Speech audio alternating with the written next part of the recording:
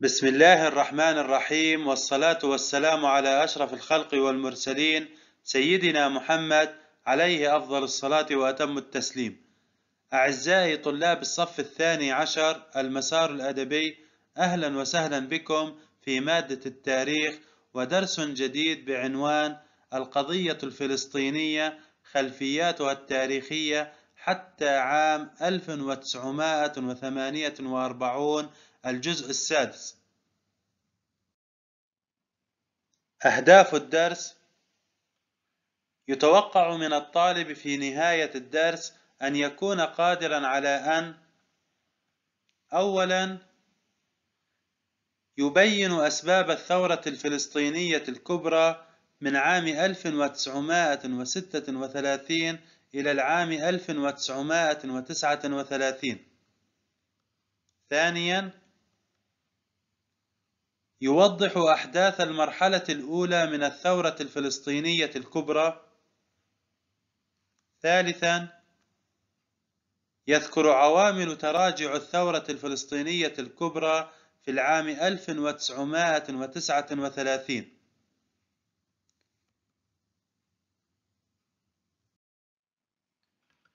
لقد ذكرنا أعزائي الطلاب في الدرس السابق عن مقاومة الشعب الفلسطيني للاستعمار البريطاني والهجرات اليهودية.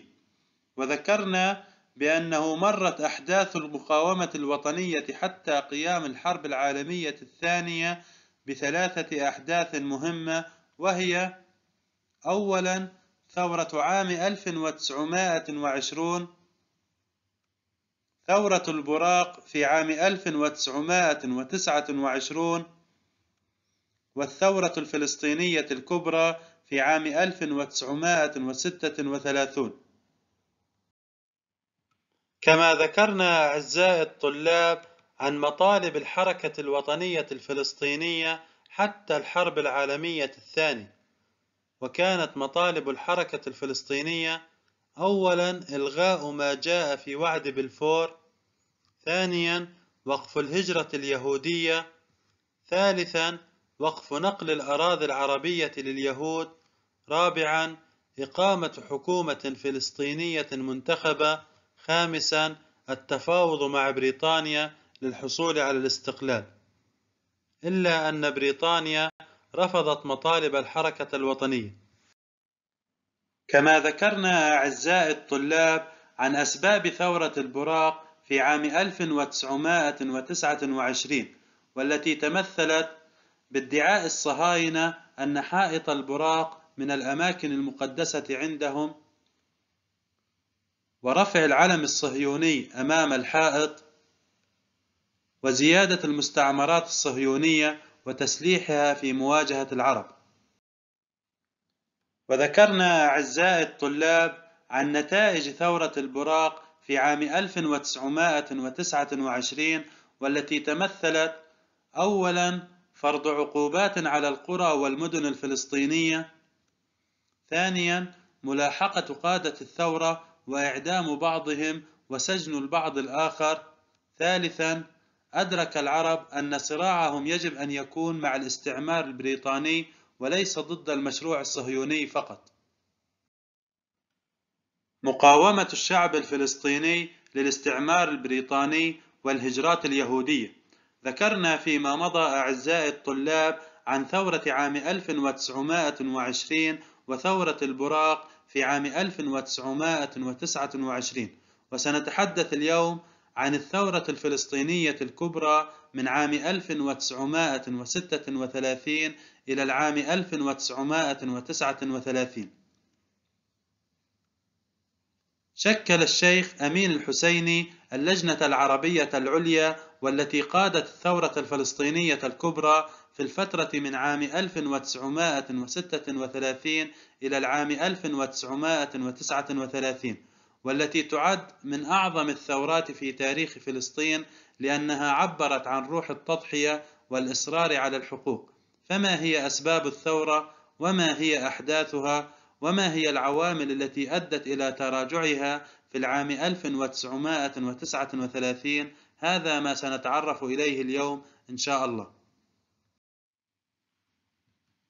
الهدف الأول يبين أسباب الثورة الفلسطينية الكبرى من عام 1936 إلى عام 1939 أسباب قيام الثورة الفلسطينية الكبرى لاحظ عزيز الطالب الصور التي أمامك والتي تبين بعض أسباب قيام الثورة الفلسطينية الكبرى. وأول هذه الأسباب كما نلاحظ في الصورة زيادة الهجرة اليهودية وخاصة من ألمانيا. ثانيا نقل بريطانيا الأراضي العربية لليهود. ثالثا الانحياز البريطاني الكامل لليهود. رابعا رفض قيام حكومة وطنية تعبر عن الشعب الفلسطيني. الغلق البنائي للهدف. بين أسباب الثورة الفلسطينية الكبرى. ويجب أن تكون إجابتك عزيز الطالب. أولا زيادة الهجرة اليهودية خاصة من ألمانيا. ثانيا نقل بريطانيا الأراضي العربية لليهود. ثالثا الانحياز البريطاني الكامل لليهود. رابعا رفض قيام حكومة وطنية تعبر عن الشعب الفلسطيني. الهدف الثاني يوضح أحداث المرحلة الأولى من الثورة الفلسطينية الكبرى. أحداث المرحلة الأولى من شهر إبريل من عام 1936 إلى شهر أكتوبر من نفس العام. لاحظ عزيز الطالب الصور التي أمامك والتي تظهر لنا أهم أحداث المرحلة الأولى. أولا الإضراب الشامل لمدة ستة أشهر. وهو أطول إضراب يقوم به شعب كامل عبر التاريخ حيث استمر 178 يوما وامتنع الفلسطينيون عن دفع الضرائب. ثانيا مشاركة كل طوائف الشعب الفلسطيني في الثورة وتكوين الحركات المسلحة. ثالثا استخدام بريطانيا أساليب البطش والإعدامات والسجن لوقف الثورة وإرسال لجنة بل بريطانية من أجل تهدئة الثورة ووقفها. ولا زلنا أعزائي الطلاب في أحداث المرحلة الأولى من الثورة الفلسطينية الكبرى حيث ذكرنا أن بريطانيا حاولت وقف الثورة الفلسطينية الكبرى وأرسلت لجنة بل التي اقترحت تقسيم فلسطين. فما المقصود بلجنة بل البريطانية؟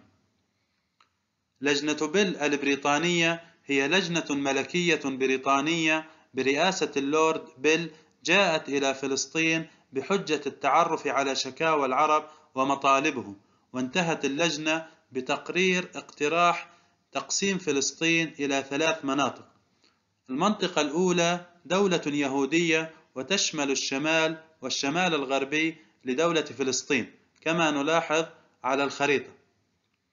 ثانيا دولة عربية وتشمل الجزء الأكبر من فلسطين كما نلاحظ على الخريطة في اللون الأخضر. وثالثا منطقة القدس وبيت لحم تحت الانتداب البريطاني. ما موقف العرب واليهود من قرارات لجنة بيل البريطانية التي اقترحت تقسيم فلسطين إلى منطقة يهودية ومنطقة عربية ومنطقة تحت الانتداب البريطاني. بالنسبة لليهود فإن اليهود وافقوا على قرارات اللجنة لأنها أقرت بدولة يهودية على أرض فلسطين وسمحت باستقبال أي أعداد من المهاجرين اليهود القادمين إلى فلسطين. أما بالنسبة للعرب فإنهم رفضوا قرار التقسيم مما جعل بريطانيا تتراجع عن قرار التقسيم واستمرار الثورة الفلسطينية الكبرى حتى عام 1939 الغلق البنائي للهدف السؤال الأول وضح أحداث المرحلة الأولى من الثورة الفلسطينية الكبرى ويجب أن تكون إجابتك عزيز الطالب أولا الإضراب الشامل لمدة ستة أشهر والامتناع عن دفع الضرائب ثانيا مشاركة كل طوائف الشعب الفلسطيني في الثورة وتكوين الحركات المسلحة ثالثا استخدام بريطانيا أساليب البطش والإعدامات والسجن لوقف الثورة وإرسال لجنة بيل البريطانية السؤال الثاني قارن بين موقف اليهود والعرب من قرارات لجنة بيل. موقف اليهود وافق اليهود على قرارات اللجنة البريطانية. أما العرب فرفضوا قرارات اللجنة البريطانية. الهدف الثالث يذكر عوامل تراجع الثورة الفلسطينية الكبرى في عام 1939 المرحلة الثانية للثورة من شهر سبتمبر من عام 1937 إلى شهر سبتمبر من عام 1939 مع تجدد الثورة الفلسطينية الكبرى وسيطرتها على مناطق واسعة وزيادة العمليات المسلحة أصدرت بريطانيا كتابها الأبيض الثالث في عام 1939 الذي دعا إلى أولا إيقاف الهجرة اليهودية ثانيا إيقاف انتقال الأراضي العربية لليهود ثالثا استقلال فلسطين خلال عشر سنوات إلا أن الحركة الصهيونية رفضت ما جاء في الكتاب. الهدف الثالث يذكر عوامل تراجع الثورة الفلسطينية الكبرى في عام 1939 عوامل تراجع الثورة الفلسطينية الكبرى. مع نذر قيام الحرب العالمية الثانية تراجعت الثورة الفلسطينية الكبرى وكانت عوامل التراجع هذه الثورة كالآتي. أولا حل اللجنة العربية العليا وإبعاد بعض أفرادها إلى جزيرة سيشل ثانيا إقالة المفتي الشيخ أمين الحسيني من رئاسة المجلس الإسلامي الأعلى. ثالثا القيام بحملة اعتقالات واسعة ومقتل عدد كبير من قادة الثورة. رابعا الانهيار الاقتصادي الفلسطيني فترة الثورة. خامسا استخدام الاستعمار البريطاني كافة وسائل البطش والعقوبات الجماعية. الغلق البنائي للهدف اذكر عوامل تراجع الثورة الفلسطينية الكبرى في عام 1939 ويجب أن تكون إجابتك عزيز الطالب أولا حل اللجنة العربية العليا وإبعاد بعض أفرادها إلى جزيرة سيشل. ثانيا إقالة المفتي الشيخ أمين الحسيني من رئاسة المجلس الإسلامي الأعلى. ثالثا القيام بحملة اعتقالات واسعة ومقتل عدد كبير من قادة الثورة. رابعا الانهيار الاقتصادي الفلسطيني فترة الثورة. خامسا استخدام الاستعمار البريطاني كافة وسائل البطش والعقوبات الجماعية. وفي نهاية درسنا لهذا اليوم دعونا نتذكر أعزائي الطلاب أهم ما جاء فيه حيث ذكرنا عن أسباب قيام الثورة الفلسطينية الكبرى من العام 1936 إلى عام 1939 أولا زيادة الهجرة اليهودية وخاصة من ألمانيا. ثانيا نقل بريطانيا الأراضي العربية لليهود. ثالثا الانحياز البريطاني الكامل لليهود. رابعا رفض قيام حكومة وطنية تعبر عن الشعب الفلسطيني. كما ذكرنا يا أعزائي الطلاب عن اقتراح لجنة بيل البريطانية لتقسيم فلسطين في عام 1937 والتي اقترحت على تقسيم فلسطين إلى دولة يهودية ودولة عربية ووضع منطقة القدس وبيت لحم تحت الانتداب البريطاني. كما تعرفنا أعزائي الطلاب على عوامل تراجع الثورة الفلسطينية الكبرى في عام 1939 حيث ذكرنا من العوامل التي أدت إلى تراجع الثورة حل اللجنة العربية العليا وإبعاد بعض أفرادها إلى جزيرة سيشل. إقالة المفتي الشيخ أمين الحسيني من رئاسة المجلس الإسلامي الأعلى القيام بحملة اعتقالات واسعة ومقتل عدد كبير من قادة الثورة الانهيار الاقتصادي الفلسطيني فترة الثورة واستخدام الاستعمار البريطاني كافة وسائل البطش والعقوبات الجماعية. الغلق الختامي. السؤال الأول اختر الإجابة الصحيحة من بين البدائل الآتية. أولا أي الشخصيات الآتية تولى رئاسة اللجنة العربية العليا في عام 1935 ألف أمين الحسيني باء عز الدين القسام جيم كامل البديري دال عبد القادر الحسيني. ويجب أن تكون إجابتك عزيز الطالب ألف أمين الحسيني. ثانيا تعتبر من الوسائل التي استخدمتها بريطانيا لوقف وتهدئة الثورة الفلسطينية الكبرى. ألف إعفاء الأهالي من دفع الضرائب. باء وقف الهجرة اليهودية إلى فلسطين. جيم إرسال لجنة بيل البريطانية. دال الانحياز البريطاني الكامل للعرب. ويجب أن تكون إجابتك عزيز الطالب. جيم إرسال لجنة بيل البريطانية.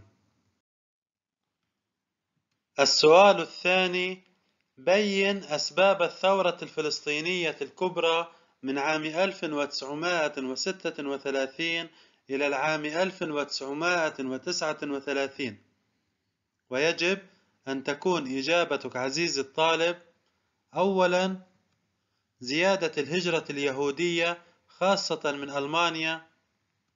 ثانيا نقل بريطانيا الأراضي العربية لليهود. ثالثا الانحياز البريطاني الكامل لليهود. رابعا رفض قيام حكومة وطنية تعبر عن الشعب الفلسطيني. السؤال الثالث اذكر عوامل تراجع الثورة الفلسطينية الكبرى في عام 1939 ويجب أن تكون إجابتك عزيز الطالب. أولا حل اللجنة العربية العليا وإبعاد بعض أفرادها إلى جزيرة سيشل. ثانيا إقالة المفتي الشيخ أمين الحسيني من رئاسة المجلس الإسلامي الأعلى. ثالثا القيام بحملة اعتقالات واسعة ومقتل عدد كبير من قادة الثورة. رابعا الانهيار الاقتصادي الفلسطيني فترة الثورة. خامسا استخدام الاستعمار البريطاني كافة وسائل البطش والعقوبات الجماعية. أعزائي الطلاب من خلال تطبيق Microsoft Teams عليكم الرجوع إلى معلم الصف لمناقشة الدرس والإجابة على جميع استفساراتكم. والسلام عليكم ورحمة الله وبركاته.